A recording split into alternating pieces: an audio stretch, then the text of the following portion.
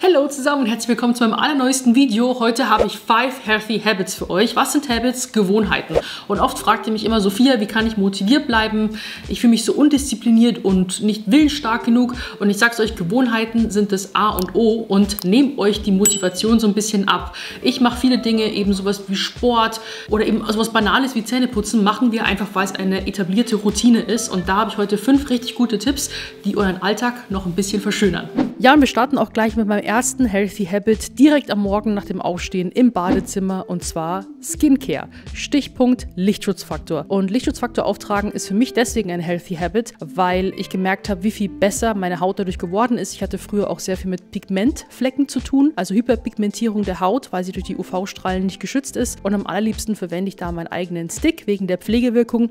Dieser hat 15er Lichtschutzfaktor, aber jetzt im Sommer bei direkter Sonneneinstrahlung oder wenn ihr vielleicht sogar Urlaub seid in südlichen Ländern, dann würde ich einen 30er oder 50er Lichtschutzfaktor zusätzlich noch dazu auftragen. Manche Make-ups enthalten sogar Lichtschutzfaktor, aber spart da wirklich nicht dran. Das ist wirklich sehr, sehr wichtig, damit eure Haut auch geschützt ist. Der Lichtschutzfaktor sagt, wie lange quasi ihr in der Sonne bleiben könnt. Wenn ihr einen niedrigeren Lichtschutzfaktor im Produkt enthalten habt, dann müsst ihr den quasi einfach öfter auftragen. Und es heißt nicht quasi, wie viel ihr automatisch unbegrenzt unbegrenzte Zeit lang geschützt seid. Also, Lichtschutzfaktor und Skincare ist bei mir einfach ein A und O. Nach dem Aufstehen auf die gereinigte Haut auftragen und ready to go. Mein zweiter Healthy Habit ist meine Schlafhygiene. Die Qualität des Schlafs ist essentiell und beeinflusst einfach so viele Bereiche in eurem Leben. Wenn ihr ausgeschlafener seid, habt ihr einfach mehr Energie. Ihr habt vielleicht auch weniger Heißhungerattacken und Cravings auf irgendwas, weil der Körper ja auch da ein Zeichen gibt, dass er einfach unausgeschlafen ist und mehr Energie dann vielleicht durch Nahrung braucht. Also ihr ernährt euch ausgeglichener, ihr habt mehr mehr Kraft für Sport und ganz, ganz vieles mehr. Schlafhygiene bedeutet für mich, wenn es möglich ist, nach 20 Uhr einfach mit der Arbeit aufzuhören, dann auch ab einem gewissen Punkt dann auch das Handy beiseite zu legen, zwei Stunden ungefähr vor dem zu Bett gehen keine schweren Mahlzeiten mehr essen oder extrem Sport zu treiben, weil es auch nochmal Stress und Arbeit für den Körper ist und ihn auch nochmal wieder wach macht. Und wir wollen ja am Abend langsam runterkommen. Achtet auch auf eine angenehme Schlaftemperatur, lüftet auch regelmäßig. Dann achtet auch dabei, dass es auch komplett dunkel ist oder dunkel wie möglich, denn auch hier das Tageslicht variiert ja auch im Winter und im Sommer und kann auch so euren Schlafrhythmus beeinflussen. Ihr müsst natürlich auch schauen, welche Zeiten für euch am besten passen. Ich habe für mich erkannt, dass ich ungefähr siebeneinhalb Stunden Schlaf brauche und dafür stelle ich mir am Abend meistens schon gerne zwei Wecker. Ein Wecker, wo dann wirklich ich mich fürs Bett ready machen möchte, Handy weg und ich mich dann auch langsam hier Zähne putze, Skincare-Routine und ab dem zweiten Wecker möchte ich dann auch wirklich im Bett liegen. Schaut auch hier nicht mehr lange ins Handy rein, weil das Handy hält euch auch nochmal wegen dem Blaulicht zusätzlich wach. Ich hatte auch Phasen, ich habe die Zeit vergessen und dann wirklich zwei, drei Uhr morgens erst zu dem Schlafen gegangen bin und mein Schlaf war wirklich richtig ruiniert. Das wünsche ich mir nicht für euch. Deswegen setzt euch da wirklich so kleine Regeln, macht euch da wirklich ein Abendritual draus und achtet wirklich auf eure Schlafhygiene. Dann kommen wir auch schon zu meinem dritten Healthy Habit und wir wissen alle, dass ausreichend Flüssigkeit, eine gesunde Ernährung einfach für die Versorgung des Körpers unglaublich wichtig ist. Und manchmal ist mehr eine Wunschvorstellung, dass man am Tag seine fünf Portionen an Obst und Gemüse immer essen kann und ich tue mir da auch teilweise sehr, sehr schwer und deswegen unterstütze ich da auch meine Nährstoffversorgung und zwar mit AG1, Athletic Greens. Ich habe das für mich entdeckt und bei meinem Video von meiner realistischen Morgenroutine haben mich so viele gefragt, was ich da am Morgen trinke. Ich kombiniere quasi mein Zitronenwasser am Morgen mit diesen Greens. Einfach eine Zitrone auspressen, in frisches Wasser geben. Da gebe ich dann einen Scoop von AG1 hinzu und vermixe das Ganze. Das schmeckt mir wirklich wahnsinnig gut und es unterstützt meine Vitamin- und Nährstoffversorgung am Morgen. Es gibt mir einfach Kraft von innen heraus. So kann ich sicher gehen, dass mein Körper auch mit genügend Nährstoffen über den Tag hinweg versorgt ist. Wenn ich es auch on the go einfach schnell trinken möchte, packe ich mir das in den Shaker, schüttle es mir an und nehme es mir dann für unterwegs mit. Es hat 75 hochwertige Inhaltsstoffe, Vitamine, Mineralstoffe, Botanicals, Bakterienkulturen und diese ganzen Mikronährstoffe haben auch nochmal eine hohe Bioverfügbarkeit. Das heißt, sie werden besonders gut vom Körper auch nochmal aufgenommen. Ich fühle mich einfach wacher und aktiver am Tag. Es ist auch sehr, sehr gut fürs Immunsystem, denn da ist nämlich Kupfer drin, Folat, Selen, Zink,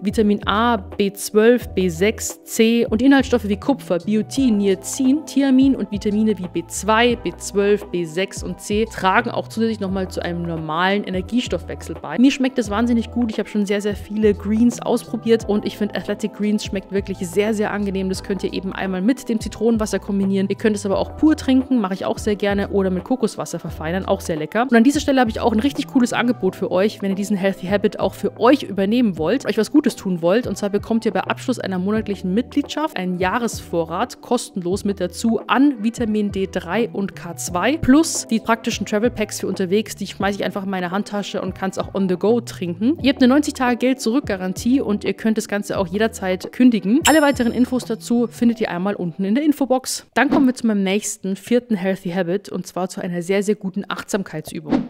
Ihr kennt es ja, man ist vom Alltag einfach manchmal so gestresst, wo man einfach einen SOS Entspannungsbutton braucht, um wieder ins Hier und Jetzt zu kommen. Und da habe ich die 54321 Methode für euch, die ihr jetzt auch sofort, wenn ihr gerade Zeit habt, mitmachen könnt. Also sucht euch am besten einen ruhigen, bequemen Ort, wo ihr ungestört seid und setzt euch mal kurz hin. Könnt euch auch hinlegen. Das Ziel ist es, dass wir wieder ins Hier und Jetzt in den Körper reinkommen. Und als allererstes konzentrieren wir uns auf fünf Dinge, die wir sehen können. Was siehst du um dich herum? Vielleicht hast du einen Gegenstand vor dir. Vielleicht siehst du irgendwo was Grünes, einen Baum, eine Pflanze. Fünf Dinge in deinem Blickfeld. Muss nichts Besonderes sein. Wenn du die fünf Dinge gefunden hast, suchen wir jetzt nach vier Dingen, die du fühlen kannst im Hier und Jetzt. Was fühlst du? Du spürst den Stuhl, auf dem du sitzt oder den Hocker, die Kleidung, die du anhast. Vielleicht spürst du den Wind auf deiner Haut. Du spürst vielleicht die Schuhe, die du anhast, geschlossen oder offen. Vielleicht zwickt und zwackt es auch irgendwo gerade, aber ist gar nicht schlimm. Richtig ins Fühlen reinkommen. Als nächstes konzentrieren wir uns auf drei Geräusche um dich herum. Drei Dinge, die du hören kannst. Vielleicht hörst du von irgendwo gerade Musik. Ein Flugzeug, das vorbeifliegt.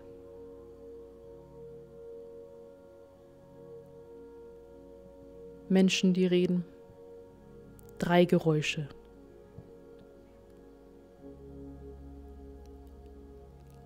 Als nächstes identifiziere zwei Düfte. Was riechst du? Riecht es vielleicht angenehm oder vielleicht auch nicht? Zwei verschiedene Gerüche.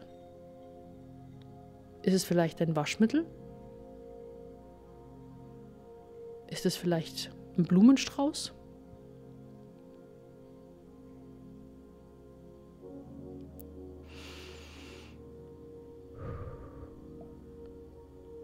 Und zuletzt brauchen wir noch einen Geschmack. Was schmeckst du gerade? Hast du vielleicht gerade noch einen Kaffee getrunken?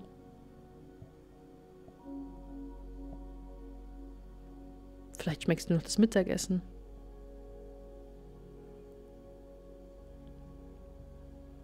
So hast du jetzt all deine Sinne aktiviert. Und je ruhiger und angenehmer du das machen kannst, desto besser. Und dann atmen wir am Ende nochmal tief ein und aus durch die Nase ein. Und durch den Mund aus. Mir hilft die Technik einfach sehr, sehr gut, um einfach zwischendrin mal abzuschalten oder auch um besser einzuschlafen. Und dann kommen wir auch schon zu meinem letzten und fünften Healthy Habit und zwar Active Recovery. Das habe ich tatsächlich erst für mich entdecken müssen, denn ganz früher war es bei mir so, dass ich wenig Regeneration mir erlaubt habe. Ich habe immer versucht, Vollgas zu geben im Sport, in der Arbeit und einfach wollte ich immer funktionieren. Doch Regeneration ist einfach enorm wichtig, dass man langfristig auch funktionsfähig bleibt, aber auch für die sportlichen Leistungen. Stichwort Muskelaufbau. Der Muskel wächst nicht während dem Training, sondern während der Regeneration, während er sich repariert integrieren kann. Es fiel mir wirklich super schwer, mich einfach hinzulegen oder den ganzen Tag einfach still zu sitzen. Manchmal habe ich es einfach nicht gefühlt, aber auch wenn man das machen möchte, wenn man sich hinsetzen möchte oder hinlegen und einfach gar nichts tun möchte, ist es auch vollkommen fein. Aber wenn ihr dann euch auch so ein bisschen kribbelig fühlt und trotzdem euch was Gutes tun möchte, kann ich Active Recovery wirklich sehr, sehr empfehlen. Ich mache das dann meistens am Laptop und da habe ich dann eine gute Kombination von Yoga und Stretching-Bewegungen, Elementen mit drin, die mir einfach wahnsinnig gut tun, die mich auch nochmal in meinen Körper reinbringen, so wie diese 5, 4, 3, 2, 1 Achtsamkeitsübung. Und das ist einfach ein Healthy Habit für mich geworden, dass ich nicht immer nur die Anstrengung habe, sondern eben auch die Entspannung und mir was Gutes tun kann und einfach diesen Ausgleich auch habe. Und diese ganzen fünf Elemente spielen einfach super aufeinander ein und kann ich euch einfach von Herzen empfehlen. Und wenn ich dazu mein separates YouTube-Video mit einem Active Recovery Workout mit euch zusammen machen soll, dann zeigt mir das gerne mit einem Like und schreibt es unten in die Kommentare rein. Ja, und das waren meine 5 Healthy Habits für euch. Wenn ihr jetzt auch noch positive Gewohnheiten habt, die euch den Alltag einfach erleichtern, dann schreibt sie jetzt unbedingt unten in die Kommentare rein, damit wir sie mit der ganzen Community teilen können. Wenn es euch gefallen hat, gebt gerne einen Daumen nach oben und ihr könnt kostenlos diesen Kanal abonnieren und dann seid ihr auch hoffentlich nächste Woche wieder mit dabei. Tschüss!